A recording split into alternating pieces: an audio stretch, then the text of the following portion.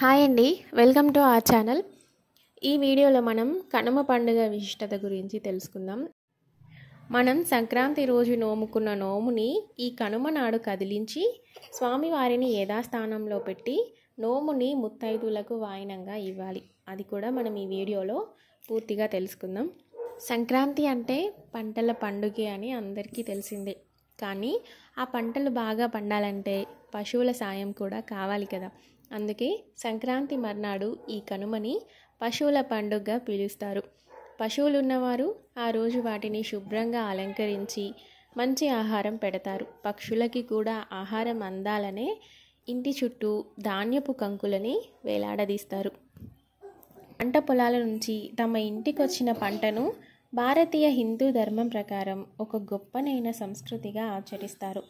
రైతులకు వ్యవసాయ క్షేత్రంలో పంటకు సహాయపడిన పశువులను అవి చేసిన సహాయానికి కృతజ్ఞతగా పండిన పంటను తామే కాక పశువులు పక్షులతో పాలు పంచుకోవాలని పిట్టల కోసం ధాన్యపు కంకులు కూడా ఇంటి గుమ్మాలకు కడతారు. పల్లెల్లో పశువులే గొప్ప సంపద. అవి ఆనందంగా ఉంటే రైతుకి ఉత్సాహం.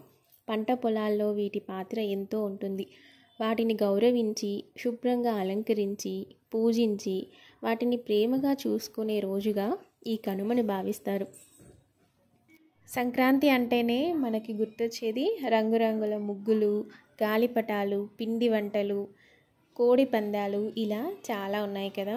సో ఈ కనుమ రోజు కూడా ఇంటి ముందు రంగురంగుల రథం ముగ్గులు వేస్తారు. రకరకాల పిండి వంటలు స్వీట్స్ చేసి సూర్య భగవానుడికి అలాగే శ్రీహరికి నైవేద్యంగా సమర్పిస్తారు.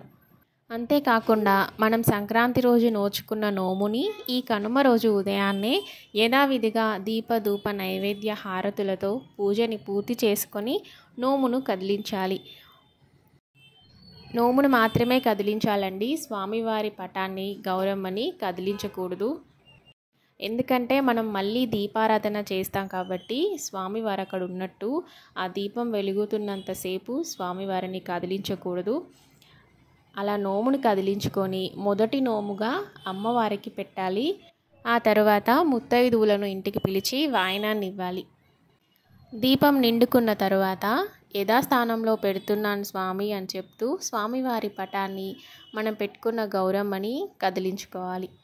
పసుపు గౌరమ్మని వాటర్లో కలిపి బొట్టుగా మంగళసూత్రానికి చేతులకి ముఖానికి రాసుకోవాలి. లేదంటే వాటర్లో కలిపి తులసి చెట్టు కింద పోస్తే సరిపోతుంది. పసుపు గణపతిని మాత్రం ఎట్టి పరిస్థితుల్లో తులసి చెట్టుకి పోయకండి. వాటర్లో కలిపి ఏదైనా పూల చెట్టుకి పోయండి. సో ఈ విధంగా ఇస్తినమ్మ వాయనమని వాయనాన్ని అమ్మవారికి ఇవ్వాలి. మనం నోముకున్న నోముని పసుపు బియ్యాన్ని బంతి పువ్వుని రేగి పండుని నువ్వులని బెల్లం ముక్కని చెరుకు గడని వీటిని ఐదు సార్లు దోసటితో అమ్మవారికి వాయనాన్ని ఇవ్వాలి ఇలాగే ప్రతి ముత్తైదుకి వాయనాన్ని ఇవ్వాలి ఈ మకర సంక్రాంతికి అమ్మవారు బంతి పువ్వులు రేగి పండ్లు చెరుకు గడలు పచ్చని అక్షింతల్లో కొలువై ఉంటుందంట. అందుకే వీటిని ప్రత్యేకంగా ఈ సంక్రాంతి నోములో వాడతారు. సో ఇదండి వీడియో. ఏదైనా మిస్ చేసి ఉంటే కింద కామెంట్ బాక్స్లో పెట్టండి. వీడియో నచ్చితే కనుక లైక్ చేయండి. Thanks for watching.